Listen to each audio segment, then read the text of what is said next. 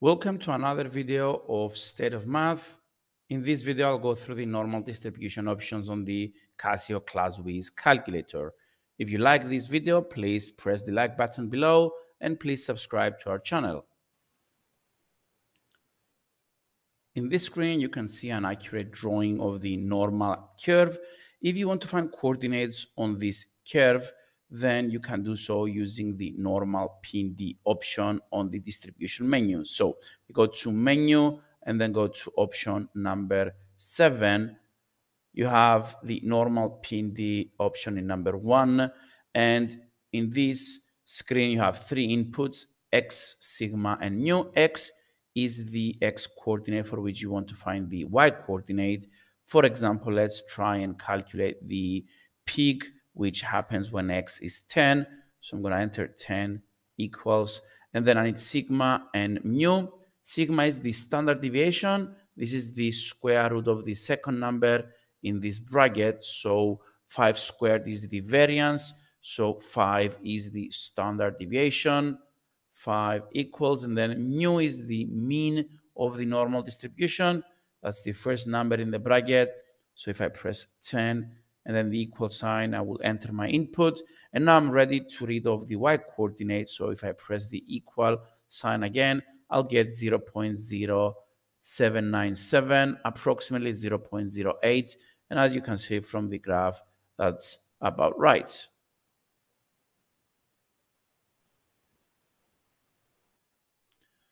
Finding probabilities with the normal distribution is like finding the area under the curve between two limits.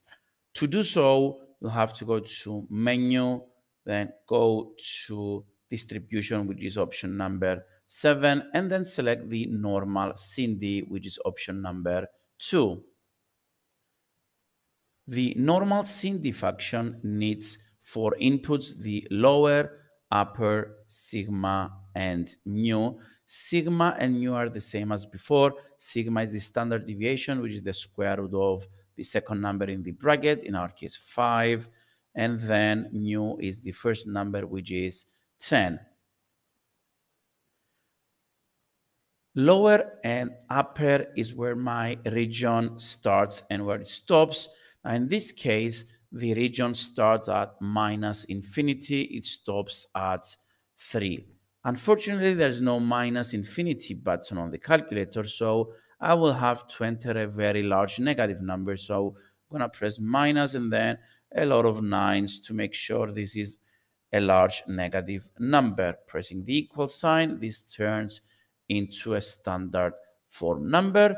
And then the upper is where my region stops, which is 3. And now I'm all set to get the probability. So if I hit the equal button, I'll get 0 0.0807 and so on. If you round this to four decimals, it's 0808. In the next example, I want to find the probability x is bigger than or equal to 5.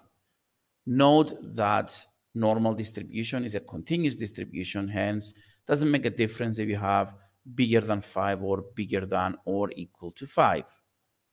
So to find this probability, I'll press AC Note that sigma and mu are already there. I'm not going to change them. All I have to change is lower and upper.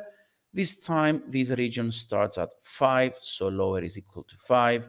And it goes on to infinity, so in place of upper, I have to make sure that I enter a positive, very large number. So I'm going to press a lot of nines here, equals, and now I'm all set to get the answer, which is 0 84 13 to 4 decimal places. Next, consider the probability that x is between 0 and 15 as shown on this sketch. Again, AC, all I have to change is lower and upper. This region starts at 0. It ends at 15.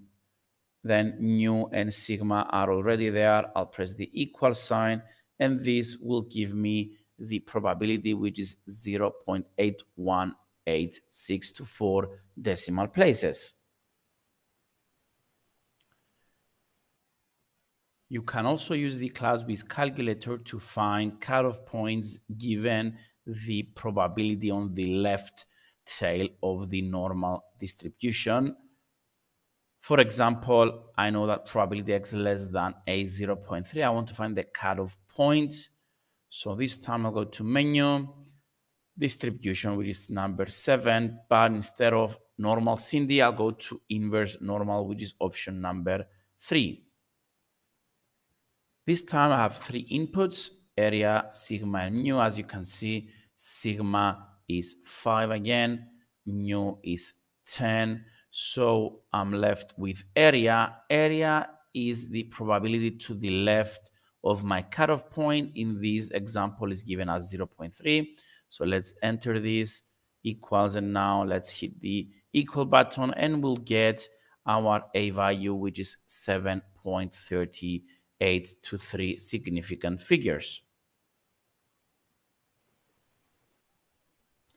In the next example, I have a probability of 0.3 on the right tail.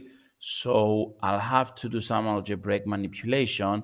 I'm going to change this to 1 minus probability x less than a 0.3, which implies that the green area is equal to 0.7 so again, I'll go to the inverse normal. I'm going to change the area from 0.3 to 0.7 and this will give me 12.6 which is the cutoff point at A. I can use a combination of normal CD with the inverse normal to find cutoff points like this one I can split this probability a less than x less than 17 is equal to 0 0.8 as probability x is less than 17 minus probabilities x less than a equals 0.8. So what I'm saying here is that the region to the left of 17 minus the green region will leave me with the area shaded in blue, and that's equal to 0.8. Now, if I rearrange this one and take the probability x less than 17 to the other side, I'm going to get this. And if I change the signs, probability x is less than a equals probability x less than 17 minus 0.8. Now I need to find this probability x less than 17. And the way to do this is go to menu, distribution, normal CD, and repeat what we did before. I'll have a lower bound of minus infinity, so minus a huge negative number.